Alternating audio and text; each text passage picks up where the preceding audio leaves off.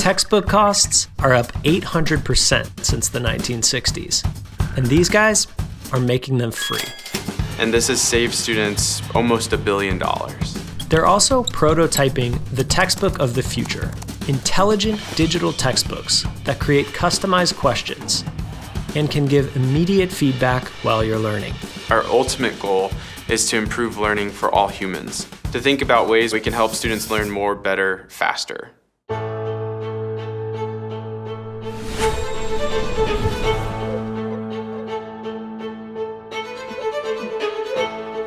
I went to school and studied opera performance, which is probably not the typical degree pathway people would think going from opera to, say, publishing slash technology.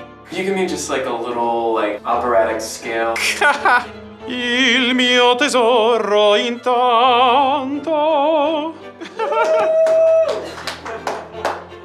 One of the things you do in music is you take this complex information and turn it into some art form that helps people feel and emote. And you do the same thing in education. You take this information, you break it down, and you figure out how to share it with your students so that they can actually learn. But the reality is, many people are locked out of the current education system.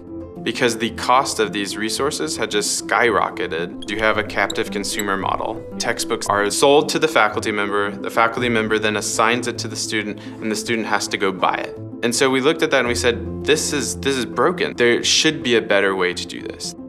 At OpenStax, we really set out to reimagine how textbooks are delivered, how educational technology is delivered, so that individuals can really own their own destiny.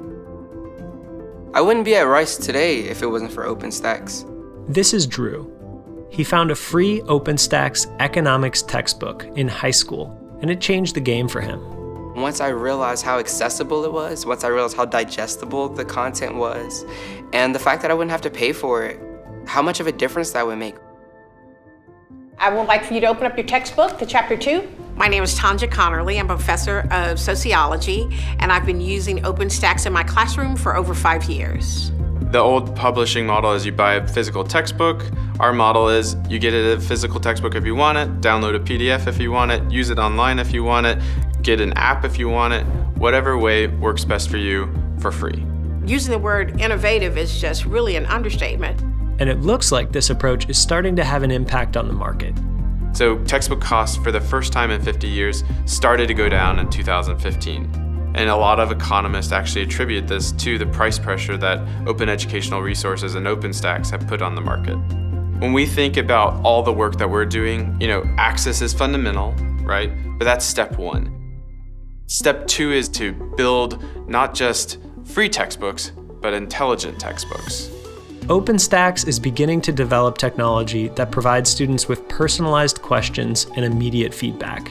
We have a team of cognitive psychologists, machine learning scientists, looking at the most cutting edge new techniques to create textbooks that learn about you as you learn from them, and then adapt to your individual needs and preferences as a student.